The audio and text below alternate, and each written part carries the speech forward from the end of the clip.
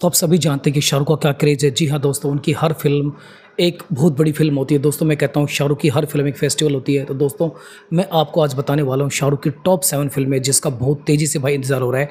जो अगर कल ही आ जाएँ तो दोस्तों, एक हज़ार करोड़ आप लोडिंग मान सकते हैं। उस कड़ी में सबसे जो पहली फ़िल्म है, दोस्तों किंग है। और इस किंग का जो हाइप है भाई, सातवें आसमान के ऊपर है। जी हाँ दोस्तों, आपको पता है कि दो के अंदर इसको लेकर लॉक कर दिया गया है दो के अंदर ये फ़िल्म ज़रूर आएगी। जी हाँ दोस्तों, और इसके ऊपर युद्ध स्तर पर काम शुरू होने वाला है शाहरुख की दूसरी फ़िल्म, पठान टू। जी हाँ दोस्तों, पठान वन ने ज़बरदस्त कलेक्शन किया था।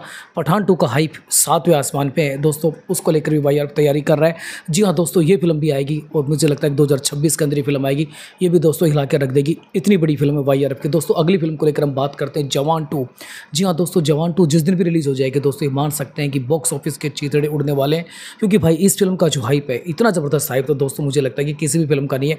तो जवान टू भी मान सकते हैं कन्फर्म आएगी। शाहरुख की एक ऐसी फ़िल्म जिसका काफ़ी लंबे समय से डिमांड की जा रही चक दे इंडिया। जी हाँ दोस्तों, चक दे इंडिया शाहरुख की एक ऐसी फ़िल्म है। अगर वो फ़िल्म कल ही बन जाए, कल रिलीज़ हो जाए तो दोस्तों, कोई रिकॉर्ड यहाँ पर छोड़ने वाले नहीं है। तो चक दे इंडिया, आपको पता है कि एक ऐसी फ़िल्म है, जितना आप जितनी बार चाहो, उतनी बार उस फ़िल्म को देख सकते हो। वहीं पर एक फ़िल्म और है, जी हाँ जिसको लेकर काफ़ी ज़्यादा हाइप है पैंतर फ़िल्म। लोकेश कनकराज को ले, को, लोकेश कनकराज इस फ़िल्म को लेकर काम करना चाहते हैं, शाहरुख के साथ ही काम करना चाहते हैं। इसको लेकर भी समय समय पर इन्फॉर्मेशन आती रहती है कि लोकेश कनकराज, शाहरुख को लेकर पैंतर फ़िल्म बनाने जा रहे हैं, जो कि ज़बरदस्त एक्शन फ़िल्म होगी। उसके ऊपर भी लगातार खबर आती है। राजन डी अगले जो हैं, राजन डीके की जो फ़िल्म है उसके बारे में लगातार ये खबरें आती रहती हैं कि राजन डी के शाहरुख को लेकर फ़िल्म बनाने वाले।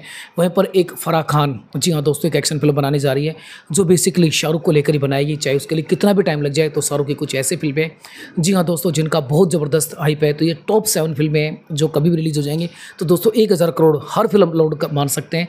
तो भाई, शाहरुख को लेकर आप कितने एक्साइटेड हैं, उनकी फ़िल्मों को लेकर आप क्या मानते हैं? और दोस्तों बॉलीवुड का सबसे बड़ा जो स्टार है, दोस्तों, चाहे रोमांटिक स्टार हो, चाहे एक्शन स्टार हो, शाहरुख है शाहरुख से बड़ा कोई स्टार नहीं है। तो इन सेवन फ़िल्मों को लेकर आप क्या सोचते हैं? लिखिए कॉमेंट बॉक्स में।